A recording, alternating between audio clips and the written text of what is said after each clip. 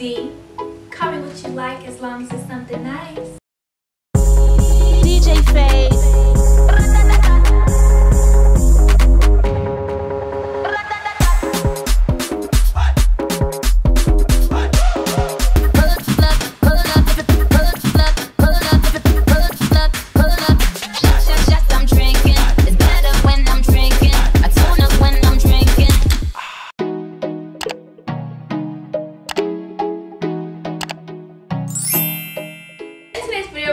About having good money habits, things you can do to better manage your money. So, before we get into this video, I just want to give you guys a little bit of background information on me so you guys can trust me with the information I'm about to give to you. I have always been good with numbers. Um, in college, I actually got my major in mathematics, not finance, but mathematics, so I'm pretty good with numbers. And I've just always been good at saving my money. My friends tell me I'm really good at managing like on my fifth birthday, I got five singles. My birthday's in June, and I held them five singles all the way to little December. Okay, like unless somebody asked me for my money, I was not spending my money. Okay, I was Mr. Krabs with the money. Professionally, besides being a creative, I want a financial advisor who helps people better manage their money, who helps people invest, helps people spend their money on a daily basis. And so, in order to do that professionally, I need to get my CPA certificate. And that certificate basically allows me to be a public accountant and help people with the things I want to help people with. So I've been studying for that. However, I do not have my certification yet. And so, um, I cannot legally give you guys this advice. If you take this advice from me, I'm telling you right now, it is not my legal profession. And you can't sue me. So, this is the receipts. So if y'all try to sue me because you took some of these tips and they didn't work for you, which they probably will work for you, but if they didn't work for you and you want to sue me, here are the receipts. You want me to bring the receipts? Do I need to bring the receipts, baby girl? 'Cause I got- Okay? The receipts is right here. This is your receipts. My disclaimer right here. And I just want to pass that information along to you. My young bosses, my young creatives, young entrepreneurs, you know what I'm saying? We all need to succeed and there's no point in me hoarding all this information to myself until I can make a profit off of it. I just want to share the info with everybody. So, without further ado,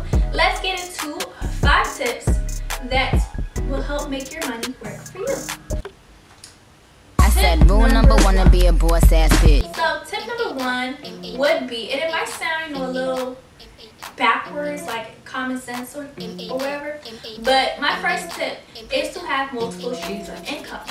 And I say this because you don't want to be dependent on one job or one basically one stream of income to have all your money. Like what if a pandemic occurs and you get laid off? What if we're in a recession and you get laid off? You know, like you don't want to be dependent on one job to make your money to pay your bills, to feed your kids, to feed your dreams. You know, you don't want to depend on one thing. So my first step would be to find other ways to make money. And I promise you, especially if you're a young creative, a young entrepreneur, there are definitely ways that you can make money off of the skills that you already have. Or you can learn a skill really easily and make money off of that. If you guys don't have any ideas on how you can make money off of the skills you have, below what your skill is and I could probably give you some ideas on what you can do to make that profitable.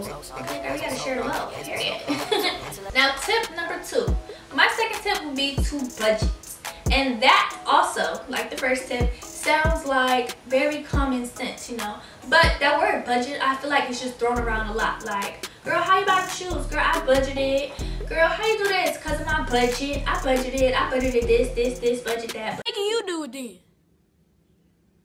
That's what the fuck I thought. It's like, girl, what does budget really mean, you know? So when I say budget, I mean that you are taking your money, creating separate categories to designate your money to.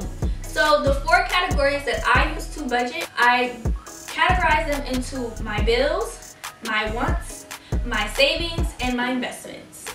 So I'm gonna break down those categories a little bit more. So basically, bills, that's kind of common sense. You know, you gotta keep your lights on, your water paid. Nobody wanna shower in cold water. Nobody wants to not have gas to cook their food. Not having heat, especially in this East Coast winter, is a no-go. Okay, just like not having an air conditioner. Well, I guess air conditioner doesn't really come out your bills. I don't know that yet, but anyway, you just want to make sure you have money for your bills. You don't want your phone to get cut off. You don't want your man to not be able to talk to you because your phone's off. That's embarrassing. So make sure you're paying your bills. Okay, paying your bills on time. After paying your bills, it's definitely for me once um i went to this seminar i want to say last year and the person there was saying how you should always pay yourself first and i never really understood what that meant like i might actually like go back and email her and ask her what that like what she means by that. But for me personally that means that you worked hard to earn your money right? So you should be able to spend your money on the things that you want. The things that make you feel good the things that's nice. Get your nails done get your hair did get them a pair of shoes get that Telfar bag baby. Like you should be able to spend your money on that. So percentage of my overall income goes to that. And then you have your savings which is also self-explanatory you need to save your money some people save their money up for bigger purchases uh, what my savings is for is for emergencies because like if I get a flat tire I do not want to be sitting there in the middle of the road just you know trying to hitchhike my way home Girl, sit down, sweetie. I'm like, no, baby. I want to be able to call a tow truck. Come get me. Come, come fill this with gas. Do something. Like, you need to have money aside for emergencies always.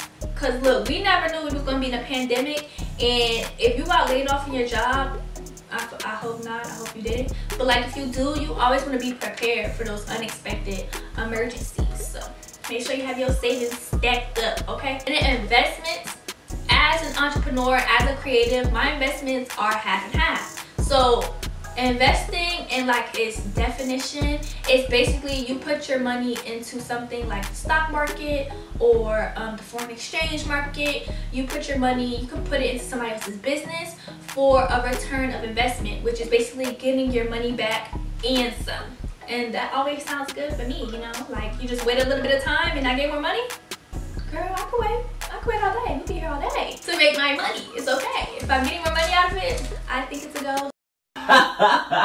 Success. So I split my money half and half. I put half of my money into investing towards, uh, like I said, the stock market and stuff like that.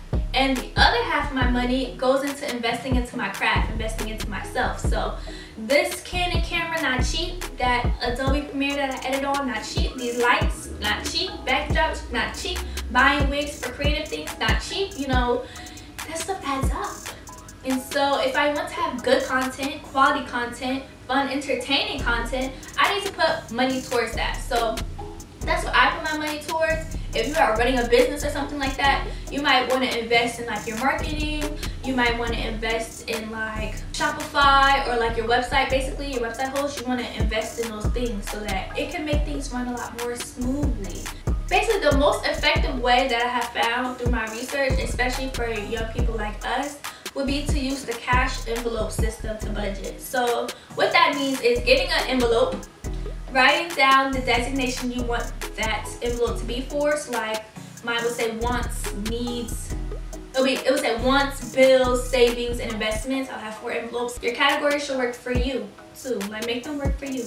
Make it all work for you. This is how budgeting will work.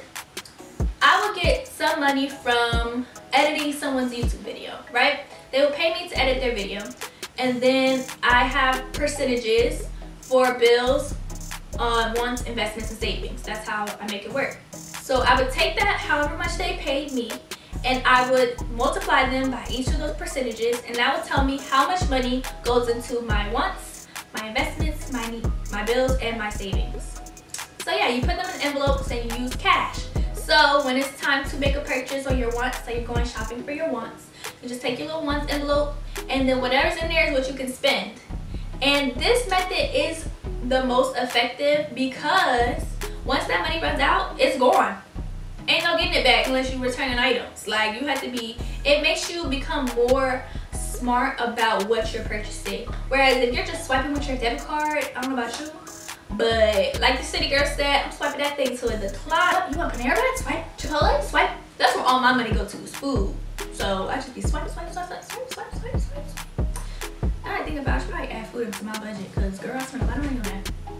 My third tip would be to make a list for everything. So when I say make a list for everything, I literally mean everything. Like you need to make a list of everything that you need in your house or need to survive. On my list of things I need to survive, I just moved back from California to the East Coast and girl, I don't have no winter clothes. I was not expecting to come back here.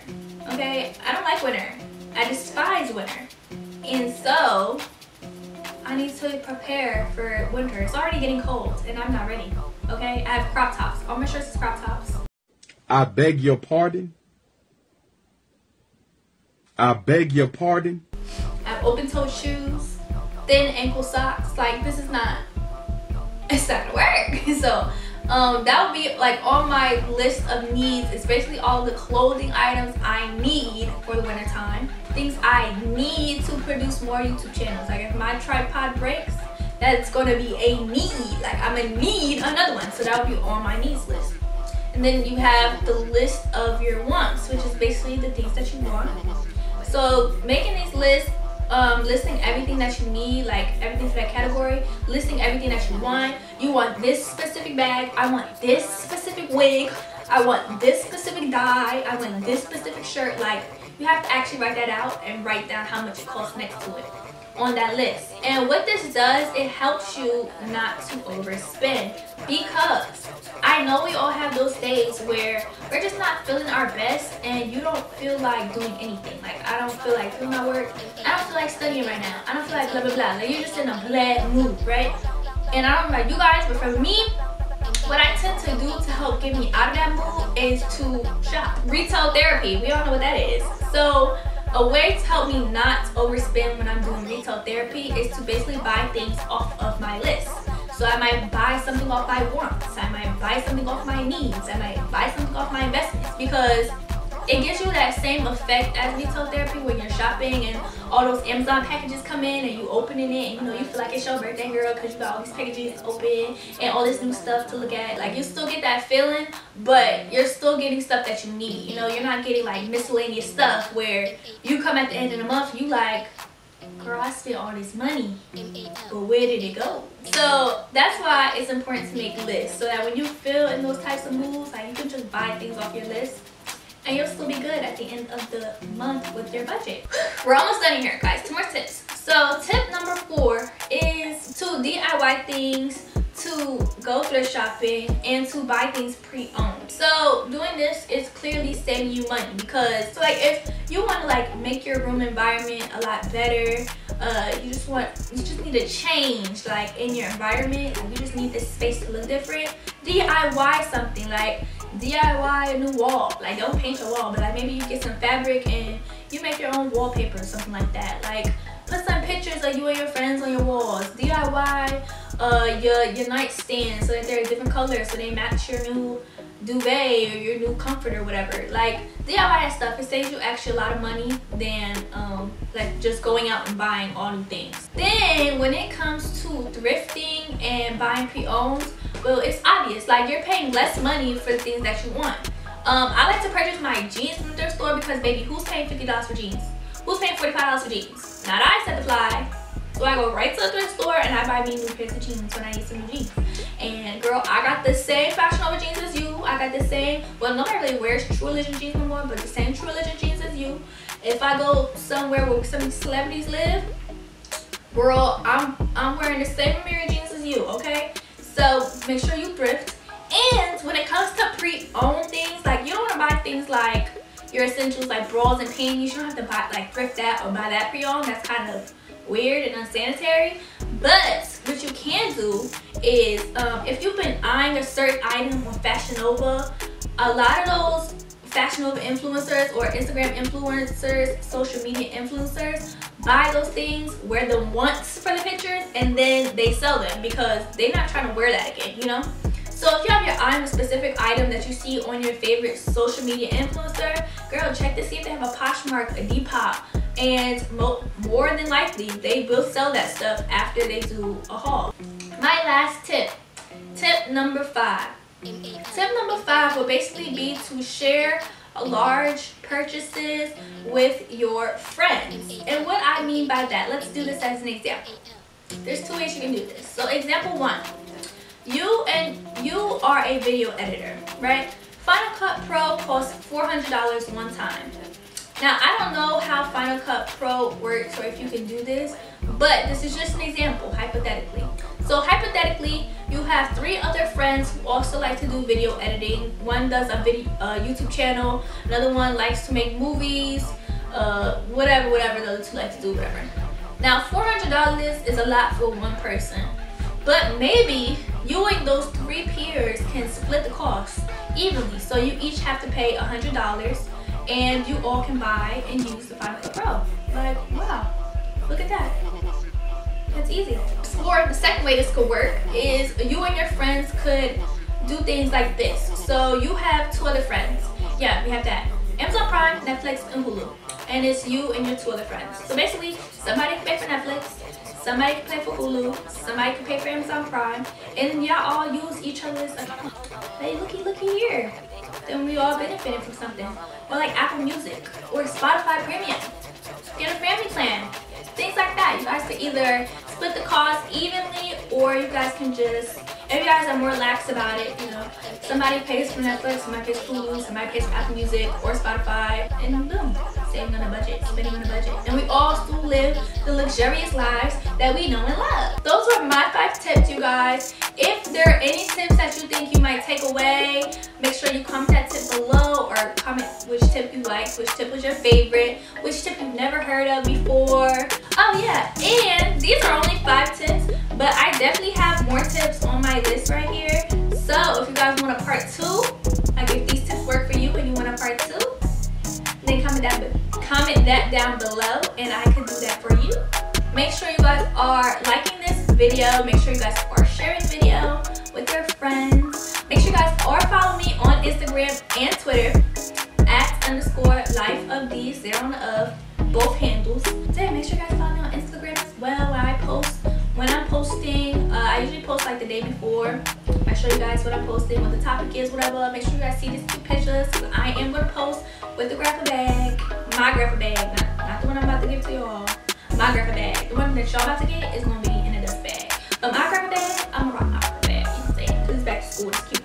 So, for in order for the giveaway to end, I do need to have 500 subscribers on my channel. 500 people do not need to enter the giveaway, but I do need to have 500 subscribers. So, if you really want that bag, okay, make sure you guys are having your family members, your friends, uh, your co-workers subscribe to my channel, you know, so that we can get up there. And once we get up there, I can close the giveaway. I will see you guys in my next video. Bye!